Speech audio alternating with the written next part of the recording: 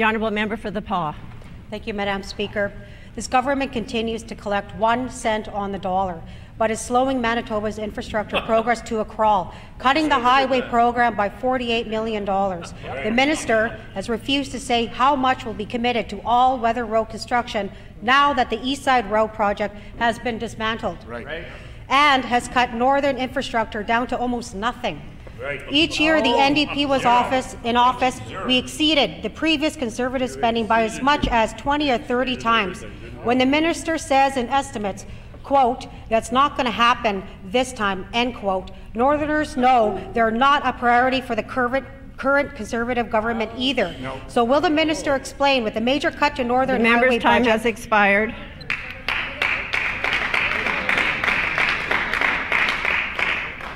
The Honourable Minister of Infrastructure. What won't happen is the raid, raid, raid, and parade of the previous government. Right there.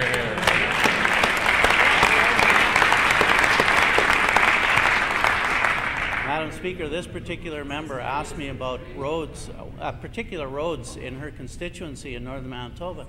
If they would have maintained these roads over the last 17 years, they wouldn't be in the position that they are now, where they're being ripped apart by tr- uh, traffic. So this is the problem. This is the dilemma that we face right now, and our government will fix this by steady, prog- uh, predictable, strategic investment in infrastructure.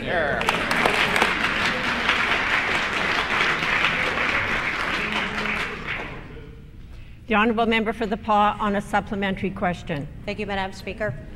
The Minister of Infrastructure has refused to provide details on exactly what it, the impacts are going to be from cutting the highway program by $48 million.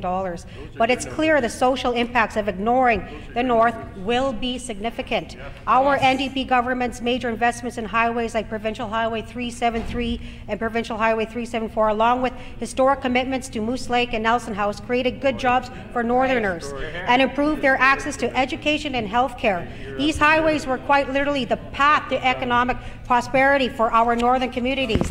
With $48 million less in the ha- Highway Capital Program, how will the minister invest in the future of our northern families and ensure that they're able to participate in our province's northern economy? Got that right. The Honourable Minister of Infrastructure.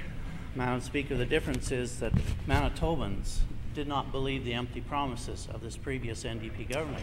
They spoke loud and clear on April 19th that they were tired of empty promises, the lack of maintenance, lack of preservation on the highways, and they want strategic infrastructure moving forward on a predictable basis. This is what the industry is asking for, this is what Manitobans are asking for, and this is what we will deliver.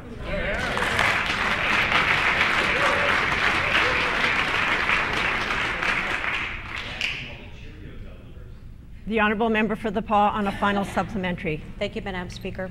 Our investments in northern infrastructure resulted in record construction, construction seasons over the last two years.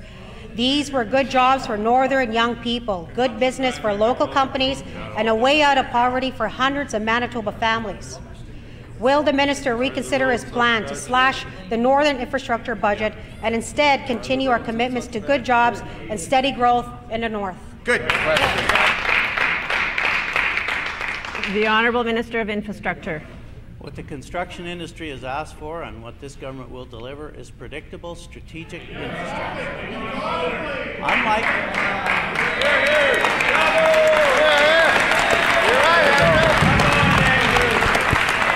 All day, every day. unlike the hollow, empty promises of the previous government, this government will deliver on our promises. We will work to, con- we realize the importance of infrastructure all across Manitoba, and we will deliver on that. Hear, hear.